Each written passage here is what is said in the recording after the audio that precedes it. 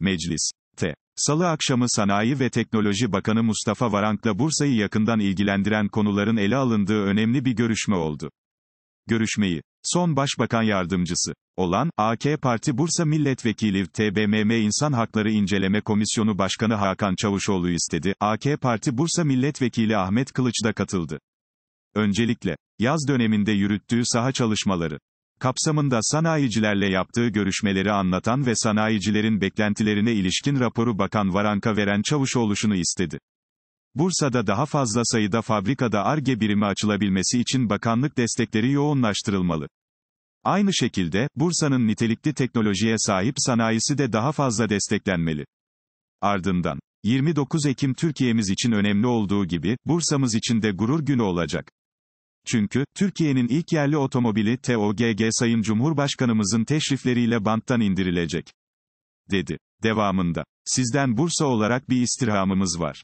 Deyip devam etti. Beş baba yiğit bir araya geldi, ama Cumhurbaşkanımızın desteğiyle TOGG'un önünün açması Türkiye'miz açısından çok önemli. Türkiye'nin en yeni ve gözde projesi TOGG'un, Türkiye'nin otomotiv üssü Bursa'da bulunması da bizler için büyük gurur. Bu noktada, TOGG'un üretim yeri Bursa'da. Üretim için istihdamını Bursa'nın deneyimli ve nitelikli kaynaklarından sağlıyor. Yan sanayi tedariğini de Bursa sanayicisi veriyor. Dedi ve şuna işaret etti. TOGG Bursa'dan yararlanıyor, ama aynı zamanda bir Bursa markası. O nedenle Bursa'da TOGG'dan yararlanmalı. Nasıl yararlanabileceğine de işaret etti. Örneğin, fabrikanın yönetim merkezi Bursa olmalı. Vergileri Bursa'ya ödenmeli. İhracatı da Bursa'dan yapılmalı ki Bursa payını alabilsin. Şunu da ekledi. Bursa TOGGU sahiplendi, TOGG da Bursa'yı sahiplenmeli. TOGG'un açılışına 4000 kişi davet edilecek. Bursa'da. Tofaş Fiat, Oyak Renault, Kars Ankara araçları, durmazlar raylı sistem vagonları, Azimutyat, uçak sanuçak üretiyor. Fakat TOGG'un yeri başka. Bugüne kadar, Bursa'yı umursamayan özel teşebbüs yaklaşımı olsa da, Sanayi Bakanlığı'nın devreye girmesini isteyen AK Parti Bursa Milletvekili Hakan Çavuşoğlu haklı. Bakan Varenk, da anlayışla karşılarken, 29 Ekim'deki açılış için yurt içi ve yurt dışından 4000 davetli planlandığını söyledi.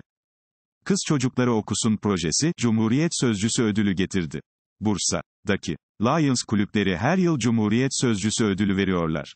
Bu yıl, Bursa'daki Lions kulüplerinin bağlı olduğu 118K Yönetim Çevresi Genel Yönetmeni Tamer Kunlar ödül sahibini belirlemek üzere kulüplerden teklif istedi. En iyi program teklifini hazırlayan Ata Lions'a da görevi verdi. Ardından, Cumhuriyet Sözcüsü ödülü. Yapılan titiz değerlendirmenin sonunda ilk kez kurumsal Yapıol'un Çağdaş Eğitim Kooperatifine verildi. Meslektaşımız, dostumuz Yücel Akgün ile birlikte ziyaretimize gelen Lions 118K Yönetim Çevresi Genel Yönetmeni Tamer Kunlar Vata Lions Başkanı Murat Aydın gerekçeyi şöyle açıkladılar. Çağdaş Eğitim Kooperatifi Türkiye'ye örnek model olması yanında, kız çocuklarının okuyabilmeleri için çok önemli proje yaptı. Ödül töreni 21 Ekim'de NOSB.daki gastro sanayide olacak. Alzheimer evinde el sanatlarıyla terapi. Kent yaşamında. Giderek artan Alzheimer. Hastalığı için Nilüfer Belediyesi AYL 118K Lions kulüpleri önemli bir proje gerçekleştirdiler. Lions'ların yapımını üstlendiği Özlüce'deki Ercan Dikencik Alzheimer hasta konuk evini Nilüfer Belediyesi işletiyor. 118K'da müzik terapisi sağlıyor. Hastalarda olumlu gelişmeler gözlenirken, 118K Lions, resim ve çini gibi el sanatları kursu açmaya da hazırlanıyor. Faruk Ambarcıoğlu Poşetten Kanatlar filmini hem yazdı, hem oynadı.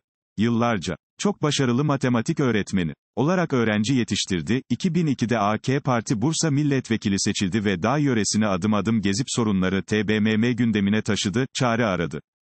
Sonrasında, kendini edebiyat ve tarih dünyasına verdi. Şiirler yazdı, Müstecip Onbaşı tiyatro gösterisini hazırlarken Çanakkale kahramanlığını sahneye taşıdı. Şimdi de, %99'u Bursa ürünü olan ve çekimleri Bursa'da tamamlanan Poşetten Kanatlar adlı sinema filminde rol aldı.